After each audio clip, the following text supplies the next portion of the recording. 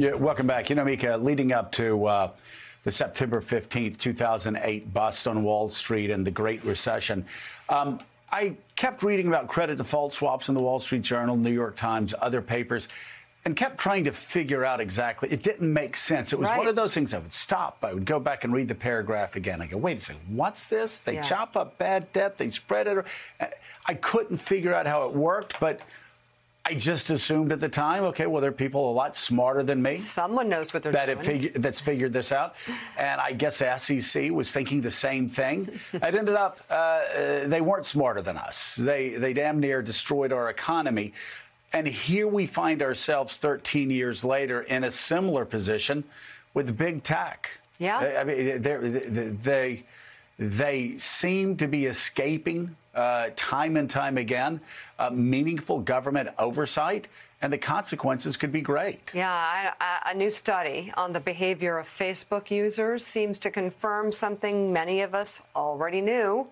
The Washington Post reports on a forthcoming peer reviewed study showing that from August of 2020 to January of 2021, news publishers known for putting out misinformation got six times the amount of likes, shares, and interactions on Facebook than trustworthy news sources did. In response, Facebook said the report measured the number of people who engaged with content, but not those who actually view it, which is something Facebook did not make publicly available to researchers.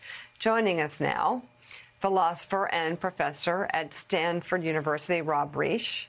Also with us, computer scientist who worked at Google when it was merely a startup.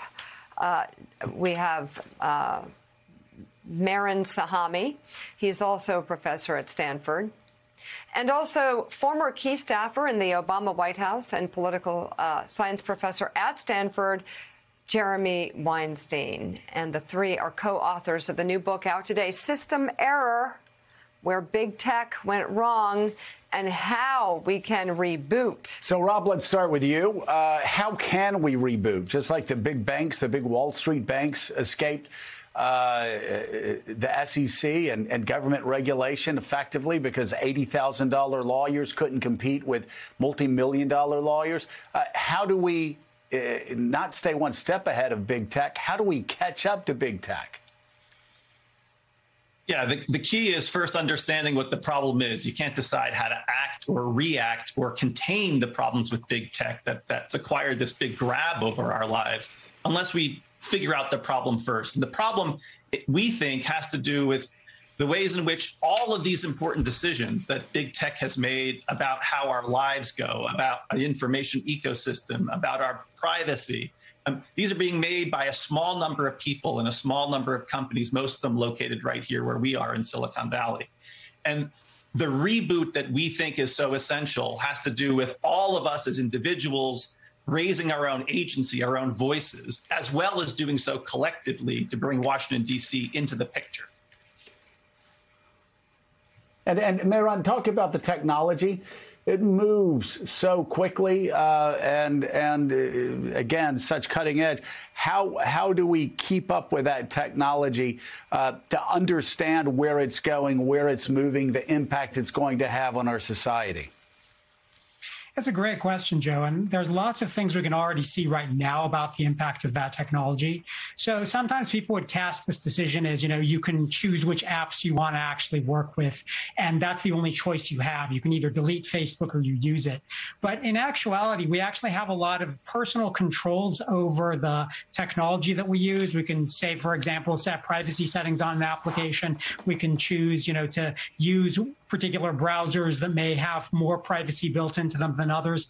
But at the end of the day, the real issue here isn't just about personal choice, it's about collective action. And maybe one way to think about that is the roadway system, right? So, in the roadway system, it's not enough to just say you should drive safely. What we do is we have a bunch of mm-hmm. safeguards mm-hmm. in place. We have things like lanes, we have traffic lights, we have speed bumps that help provide safety in the entire system. And then individuals work within that system to also drive safely safely. We need the same thing in terms of tech regulation. We need regulation around things like content moderation and the large platforms. We need uh, algorithmic transparency to understand when high risk decisions are being made for individuals by algorithms and give them a chance to actually have due process and accountability in those systems. And we need to think about AI coming that's actually going to have impact on a lot of jobs and what kind of policies we want to have around reskilling to blunt some of the impacts of people becoming unemployed.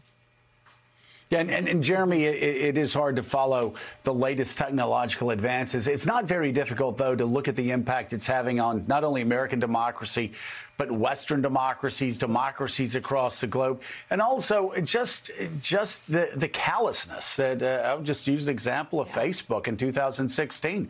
Sheryl Sandberg screaming. Uh, at, at, somebody who went to the board and told them the truth about Russian disinformation that was infecting Facebook globally. So I think this is a moment for all of us to wake up and pay attention. It's 100% clear that while technology has provided enormous benefits that are changing how we work and how we live, the social harms can no longer be ignored. Whether it's the misinformation and disinformation that you described, the impacts on our workforce of automation, the erosion of our privacy, these are effects that all of us now live with.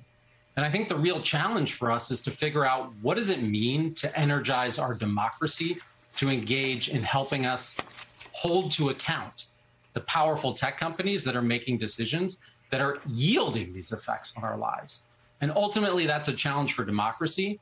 It requires all of us to inform ourselves, to discuss with our colleagues, with our peers, with people in our community, but also to look to Washington, which has really enabled this process of concentration of power in a small number of tech companies. And so that we need to be in a position where we're holding politicians accountable for yeah. the outcomes that we want from technology.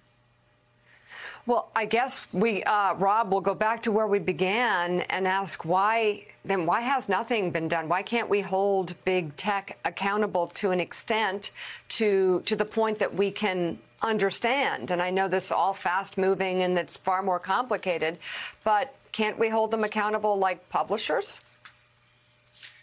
Not in the same way as publishers. I mean, the, the tech industry would have you believe that whatever problems there there are, they're working hard on them. They're, they're sorry for for mm-hmm. whatever problems have been made, and they often like to speak about the unintended consequences. And I, I find that phrase, we find that phrase kind of peculiar. It's as if you know, we've just been talking about Afghanistan. It's as if the withdrawal that happened was just a, an unintended consequence. We didn't mean for it to happen this way, and therefore people should get a free pass about it. Um, Silicon Valley seems to think that if you're not intending to create a harm, then you shouldn't be held accountable for the harm.